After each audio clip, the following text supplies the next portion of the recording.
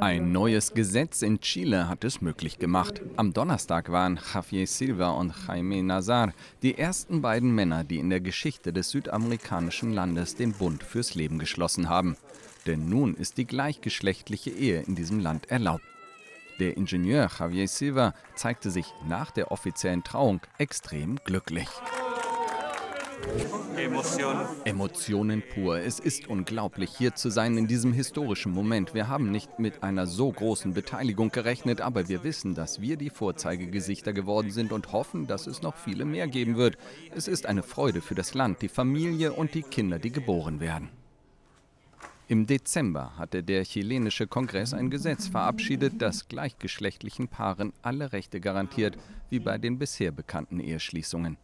Dieses Gesetz wird als ein Meilenstein angesehen und als ein großer Erfolg der LGBT-Gemeinschaft in dem sonst eher konservativen Land.